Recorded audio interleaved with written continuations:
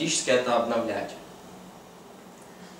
И более того, бандер позволяет зафиксировать конкретную версию, если именно она вам нужна. Как это выглядит? А, Во-первых, gem install bundler. Сейчас он идет в стандартной поставке Ruby. В принципе. Ну, если вы не хотите стандартной поставки, то вам придется скомпилировать Ruby ручками. А, потом, замечательная команда bundle init создает файл, который так и называется, gem-файл. Вот в гем-файле описываются гемы текущего проекта. Как это выглядит? Вот типичный гем-файл. Вот source, исходники, откуда будут браться гемы. Кстати, сейчас уже принято писать HTTPS Ruby Gems а, Просто потому, что было несколько атак против Ruby Gems, которые заканчивались очень плачевно. А несколько source можно использовать? М? Да, я же об этом говорил буквально минуту назад. А если ты выключишь планшет, то ты будешь слушать меня гораздо лучше. Вот, собственно, варианты с а, тем, как а, объявляются гемы в гемфайле.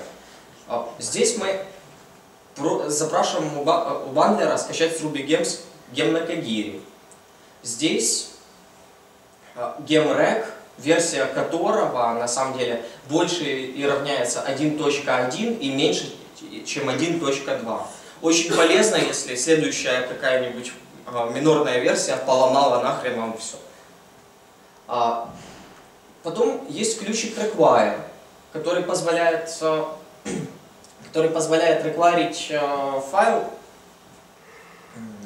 Сейчас тут не описана одна вещь, которую я сейчас вот здесь на доске напишу.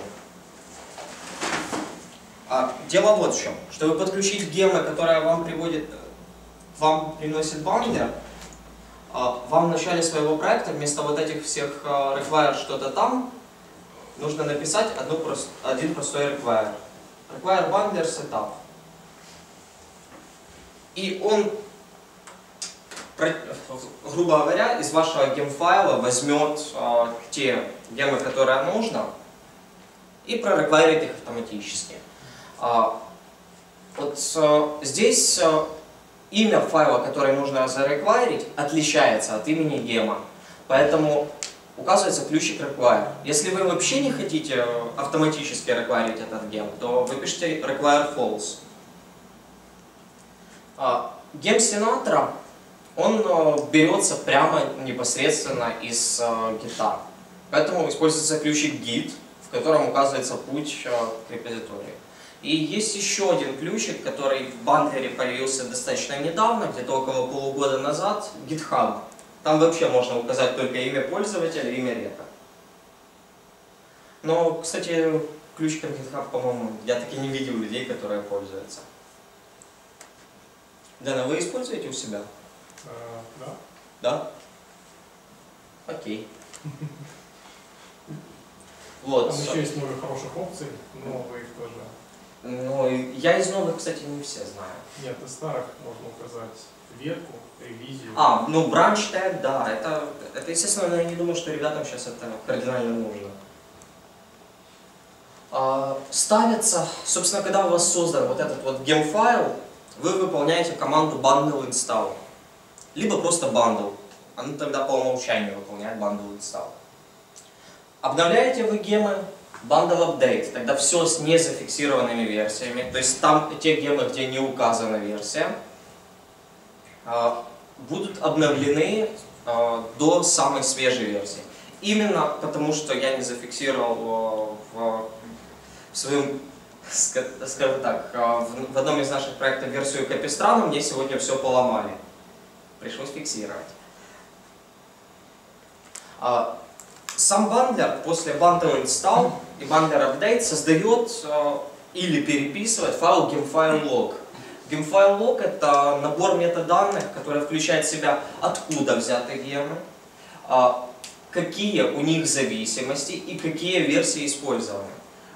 Кстати, еще есть возможность, используя магический ключик платформ, указывать, для какой именно платформы ставить тот или иной гем. А, То есть а, здесь вот платформа использовалась, не была указана, поэтому по умолчанию использовалась Ruby. Но если, допустим, мой проект написан так, чтобы работать одновременно и на Ruby, и на JRuby, используя разные библиотеки, то указав платформу двоеточие symbol JRuby, я смогу подключать определенные гемы только когда проект запускается на JRuby. Ну и список зависимостей. А, Те зависимости, которые тянутся из гита, а, тянутся, э, показываются в dependencies, соответственно, с восклицательным знаком. Так, поехали дальше. -ка. А, собственно, кстати, я вот не знаю, зачем, э, не рассказывая ничего об э, кидать в создание гема, в создание гемсета. Вообще, все знают, что такое? А. По-моему, еще что-то.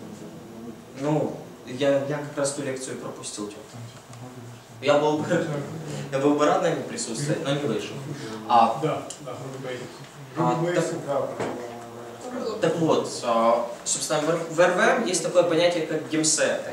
Это, грубо говоря, изолированные системные уже наборы. Со стороны, со стороны RVM. А, когда вы разрабатываете новый гем, желательно делать это в изолированном гемсете, потому что есть возможность немножечко по- подпортить себе проектное. Так, поехали. Первым устанавливается бандлер, но бандлер, скорее всего, RVM сейчас подтянет тоже по умолчанию. Потом, используя команду bundle-gem, название гема, а, мы создадим необходимую структуру для нашего нового гема. Он со- создаст гем-файл, то есть э, файл для бандлера. А, Он создаст strake-файл, файл э, с набором задач. А, Заглушку лицензии, заглушку readme, gitignore, а, файл описания гема, который носит расширение .gemspec и всегда называется по имени гема, и заглушки, собственно, кода. Ну и инициализирует там git репозиторий. Структура гема у нас следующая. А, Первое. Это папка lib, в которой находится все то, что все то, что нужно, вот, собственно, для работы вашего гема. А, и файл, который лежит в корне папки lib, вот именно он и подключается require. То есть, а, но в случае, обычно он называется по имени гема, тогда ничего дополнительного бандлера указывать не надо. Но в случае RSpec, например, здесь файлик называется spec.rb, и поэтому мы указываем бандлеру ключик require spec. Вот так. А дальше gitignore, ну, объяснять не надо. Гемфайл мы его рассмотрели, лицензию, наплевали мы все на лицензии. Особенно тех, кто качает хорошие книги стоимостью 20 баксов с рутрекера. С IT-букс попрошу. Неважно. А, rake файл. Про, про rake файлы мы вообще на самом деле поговорим отдельно, потому что это очень мощный а, Ruby инструмент, хотя и достаточно тормозной. А, Но это возможность а, на Ruby писать, а, грубо говоря, нечто подобное make файла. Собственно, поэтому и rake, Ruby make. И редмишка. А, собственно, что из себя представляет файл GameSpec? А, это описание того, что, что из себя есть ваш гем. А, Game Specification, да. А, он- первым делом он подключает а, файл с версией вашего гема. А, Потом описывает сам гем. У гема есть следующие ключи. Автор, почт, авторы, массив авторов, почта, массив почт авторов. Именно это будет опубликовано потом на Ruby Gems. А, Description, описание этого гема. А, Summary, а, это немного более сокращенное, чем description, или развернутое, в зависимости от желания. Я встречал и те, и те варианты, но на самом деле в summary обычно более развернутое пишут.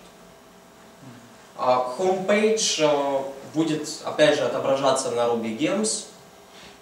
А, Список файлов гема. В самом простом случае это вывод команды э, git ls с, э, разбитый по этим, по enter, по концам строк. в данном случае, если быть точным. А, а, исполняемые файлы гема, потому что если гем тащит с собой исполняемые файлы, они должны быть добавлены не только в load pass, но и в pass системный. А, ну, соответственно, то есть если у вас а, какой-нибудь рубишный скрипт с хэшбэнгом, то положив его в bin и прописав а, путь к нему в executables, вы добьетесь того, что установив ваш гем, пользователь получает свое распоряжение команду. А, Тест files — это, соответственно, для тестирования